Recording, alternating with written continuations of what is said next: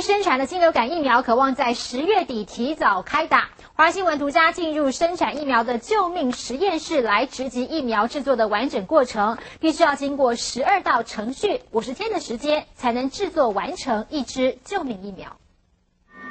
经过严格筛选的无菌蛋，颗颗洁白整齐，排在蛋架上，由身穿无尘衣的工作人员推进检验室。这一颗蛋，它的那个血管算 OK，但是它有点气势是下沉。呃，这一颗的话，我们会把它就是挑起来。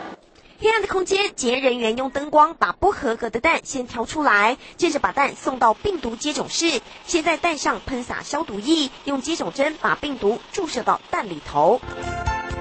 自动接种机的接种针组会依序把病毒注入胚胎蛋内部。从这一道程序开始，完全都在无尘无菌的环境中生产，工作人员都穿着高等级的防护装备，隔绝一切污染。将使用自动照蛋机进行培养结果检验，无法通过检验的蛋，将由自动照蛋机的吸盘组件自动移除。注射病毒之后的胚胎蛋，经过红外线检查不合格就淘汰，接着冷却过程。最后的步骤当然重要，必须把从胚胎蛋里头萃取出来的尿囊液，经过澄清、过滤、浓缩，至少五十天才能完成新流感疫苗采收。整整十二道流程，完全不能出错。预计十月底就可以先生产五百万剂疫苗，经过人体试验后，就可以提供给民众施打。记者张丽君、张春峰，台中报道。